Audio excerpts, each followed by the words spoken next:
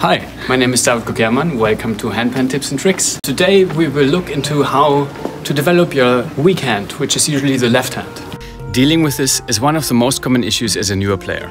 Not only is the secondary hand much weaker than the leading hand, it's also harder to control and it can be quite a challenge to convince it to play nice. Today I will show you two exercises that can help you fix that. Before we start, it's good to know that most likely these exercises will feel absolutely horrible. When dealing with independence and training the weaker hand, often the exercises that feel extremely awkward will be very effective. So that's why we put ourselves through this kind of misery. Let's get started. Exercise number one. Practice the different strokes on the instrument with the left hand by itself. Let's start with the central note.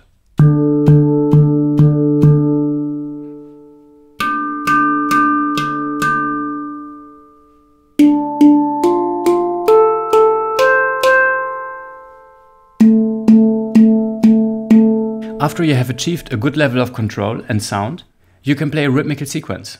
Let's play four dooms and four tucks, followed by a melody line upwards, and then the second time we play a melody line downwards.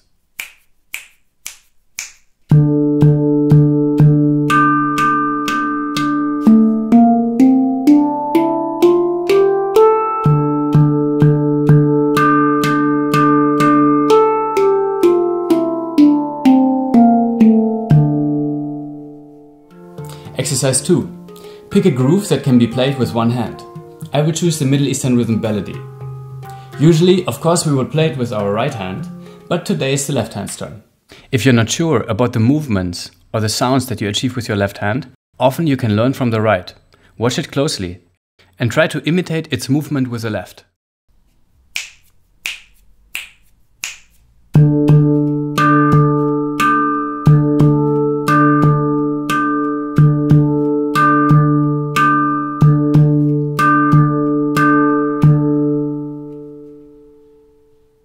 Exercise number three. So far, we have practiced the left hand by itself. Now it's time to throw it into the mix with the right. But today we will do it in an unusual way. Usually the right hand leads and the left hand follows. It's time to switch these roles around. Like in any close relationship, the involved parties should have some flexibility. Let's give it a try. Okay, let's check out some grooves and switch the hand patterns around. So we lead with our non-dominant hand. I will give you two examples which you might already know from last week's video. The first one is the Khaliji. Today we play all the accents with one hand and the ghost notes with the other. Why do we practice different hand patterns at all? Because it will give you a lot of flexibility for your playing. Usually I would play the accents with the right and the ghost notes with the left, like this.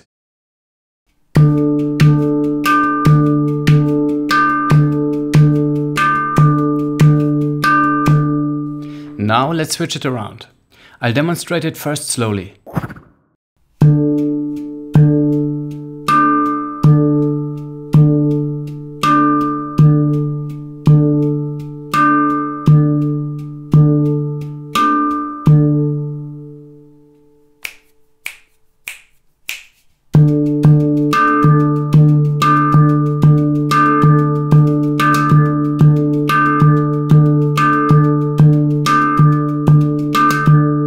Feeling a little awkward yet?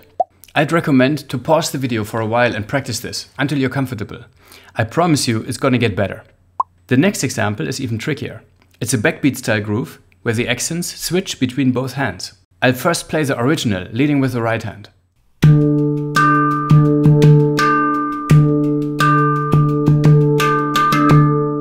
Now let's switch the hand pattern.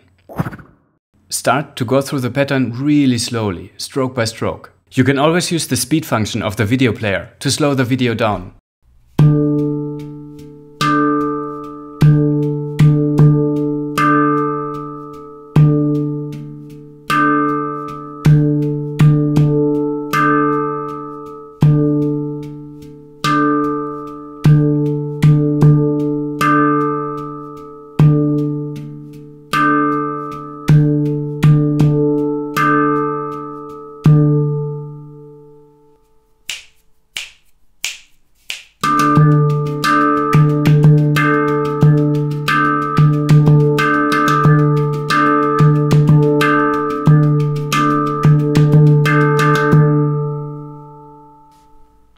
Okay, now my challenge to you is to apply the same concept to other grooves and patterns. You could use, for example, the halftime Khaliji or the two-step from last week, or you could pick any pattern that you're familiar with. The more you go through this process, the stronger and more confident your non-dominant hand will become. This will be very beneficial for when you play normally, leading with your dominant hand. Patterns will just become more clear and even sounding. Let's finish the session with a little piece of music based on this last backbeat pattern. The melodies I use are only examples. You probably have a different scale and have to find your own melodies anyway.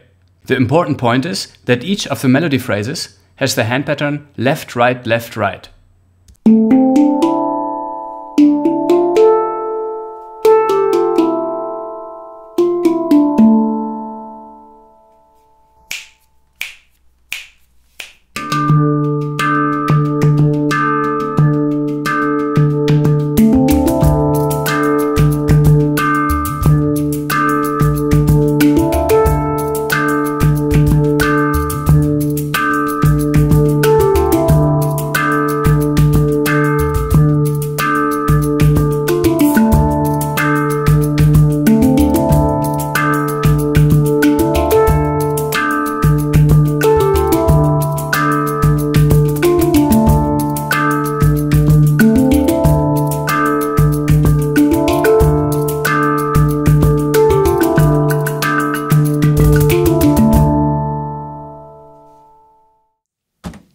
Okay, I hope you enjoyed today's video. I know these exercises don't seem like a lot of fun at first, but they're really super effective. And if you stick with them, I think you will be surprised by the results. Let me know in the comments which grooves you can play leading with the left hand and how the process is going for you. Of course, I'm happy if you subscribe to my channel and give me a little thumbs up as well. Have a good practice and see you next week.